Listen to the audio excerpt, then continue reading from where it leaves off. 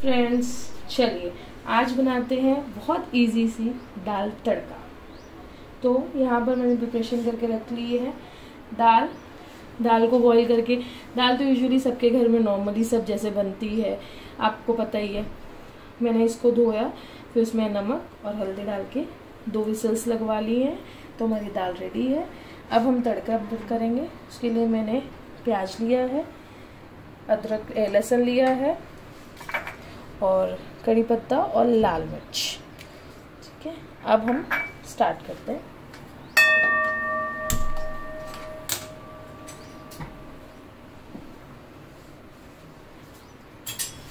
अब इसमें हम दो से तीन स्पून तेल डालेंगे।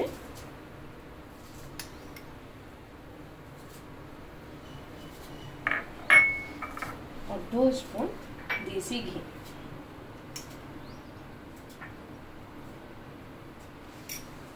अब इसे थोड़ा गर्म होने देंगे। अब तेल गर्म हो गया है। अब इसमें हम डालेंगे थोड़ी सी हींग।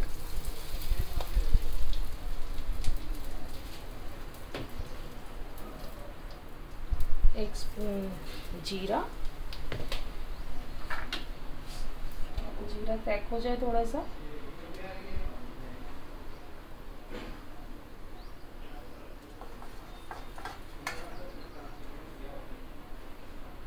अब इसमें डालेंगे हम मीठी मीट और मिर्ची।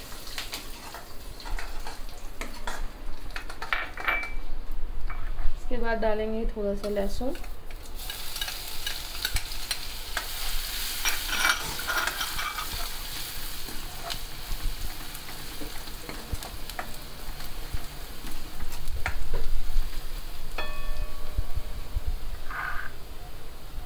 थोड़ा सा गोल्डन ब्राउन हो जाए लहसुन, उसके बाद हम डालेंगे प्याज। अब देखिए, लहसुन हमारे हो गए हैं गोल्डन ब्राउन अब इसी स्टेज में हम डालेंगे प्याज।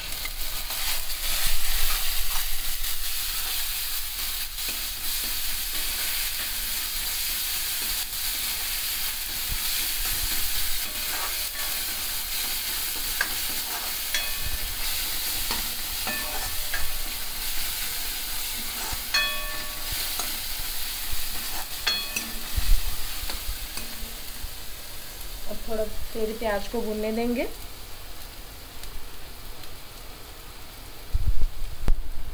अब आप देख रहे हैं, हमारा प्याज हो गया ऑलमोस्ट अब इसमें हम डालेंगे लाल मिर्च। एक चम्मच लाल मिर्च डालेंगे। ऐसे हिला लेंगे दो सेकेंड बस हिलाने के बाद अब हम फाइनली इसमें डालेंगे अपनी दाल।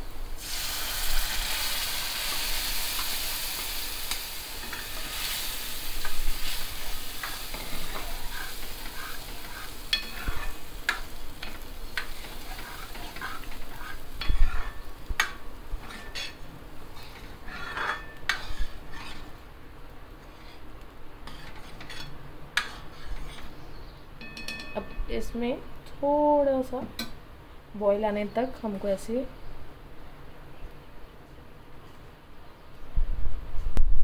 अब हमारा एक उबाल आ गया है दाल में। बस, अब हमारी दाल रेडी है। अब हम करेंगे इसे सर्व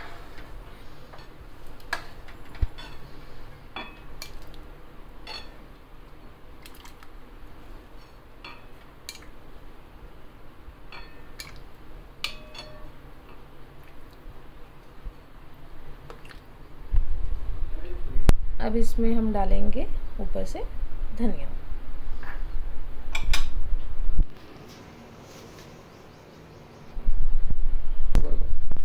सो so फ्रेंड्स अब रेडी है। इन्जॉय कीजिए अपनी दाल विथ राइस बहुत ही यमी लगती है और बहुत ही जल्दी बनती है।